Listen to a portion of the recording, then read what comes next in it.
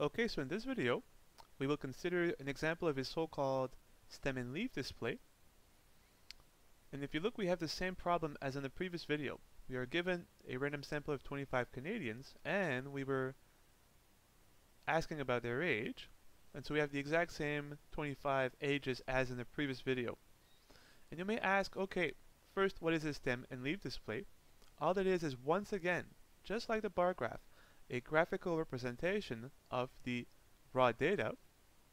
And you may ask, well, why would we need possibly a second way to represent this data graphically? Isn't the bar graph enough?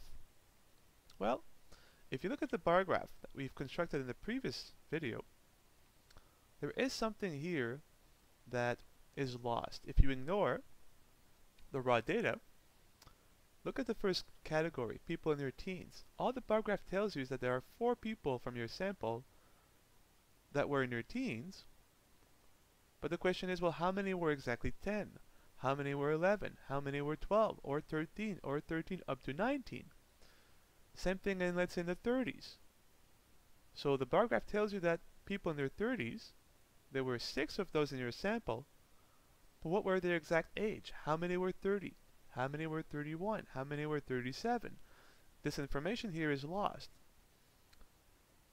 There is a question now of, well, can we construct a bar graph where none of the raw information is lost? And the answer is yes, and that is exactly what a stem and leaf display is. You will see it is exactly a bar graph, except that in our frequency bars will also be contained the raw data. So let's see how this works out. There are two parts to a stem and leaf display, clearly. As the name implies, there is a stem part and there's a leaf part, just like a tree. So, the stem, and there's the leaf.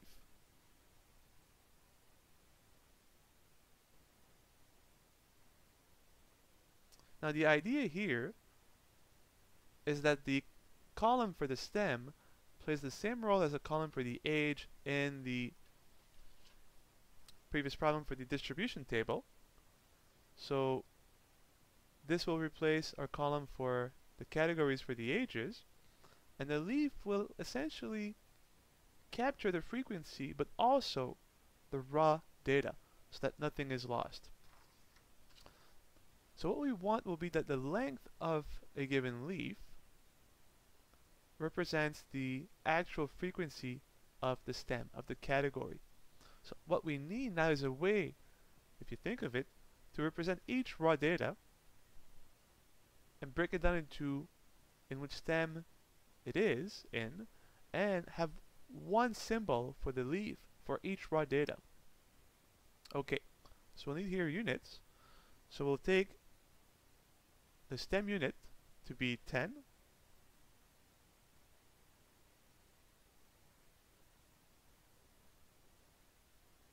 and the leaf unit to be 1.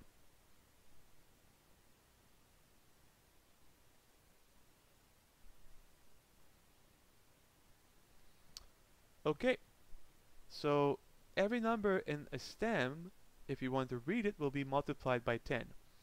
So instead of thinking of people in their teens and writing 10, we will write 1, as 1 times 10 is 10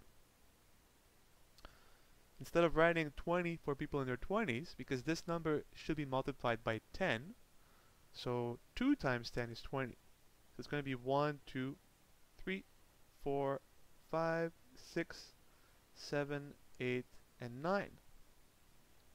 So every number in the stem must be multiplied by 10, as the stem unit is 10. The stem unit is 1, so the numbers here will be multiply by 1, so they'll be exactly what they are. And now, let's construct our rows. So, people in their teens. There were 4 of those, so 11, 12, 13, 13.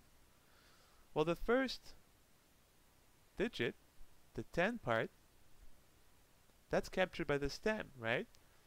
The stem unit is 10, 1 times 10 is 10, so we ignore this.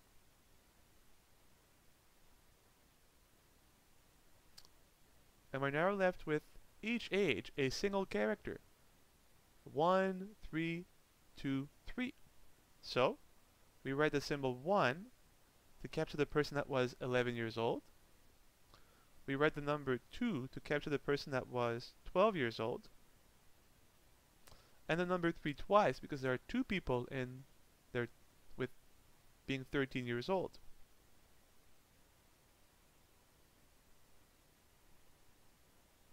And so you see, this is a category for people in their teens, and this is the last digit of their age. And so there was one person that was 11, one that was 12, and two that were 13. And because each value is represented by a single character, then the length of your row is the frequency, 1, 2, 3, 4. And that's the idea. So let's complete now our stem and leaf display. People in their 20s, there were five of those.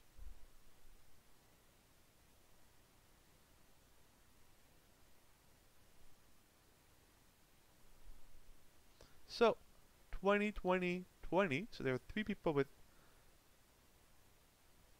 exactly in their 20s, so, well, 20 years old, so 20, 20, 20. Then 25, that's a 5, and 27. Let's keep going. People in their 30s, there were six of those.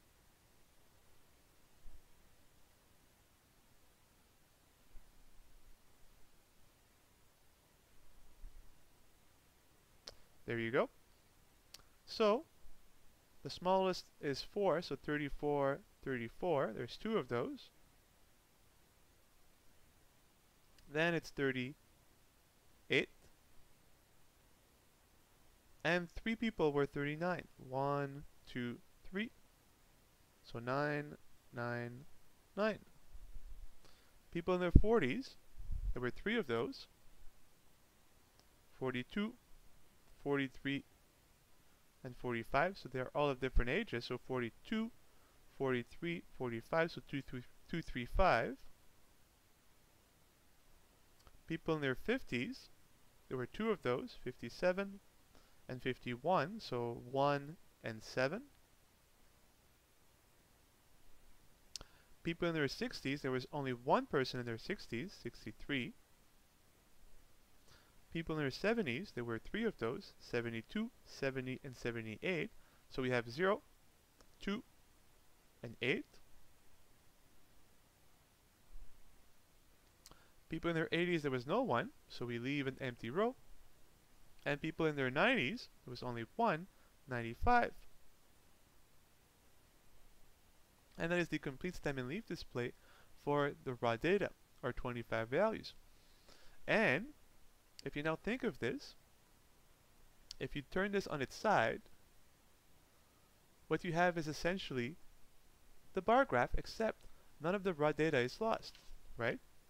add to this our bar graph. Oops. So look at the bar graph for now. So 10, 20, 30, 40, 50, 60, 70, 80, 90, your categories. And each bar gives you the frequency for that given age group. 4, 5, 6, 3, 2, 1, 3, 0, 1. Well, look at your stem and leaf display and it's the exact same thing except that the bars are made up of the leaves, and the number of leaves is the frequency. People in their teens, because the unit for the stem is 10, so people in their teens, there were 4 of them, 20s, 5, 30s, 4, uh, 6, sorry, and so forth. And you can say, well, not only are there 6 people in their 30s, but there are 2 that were 34, one that was 38, and three that were 39. So a stem and leaf display is basically just a bar graph where none of the original data is lost. Now of course this is limited.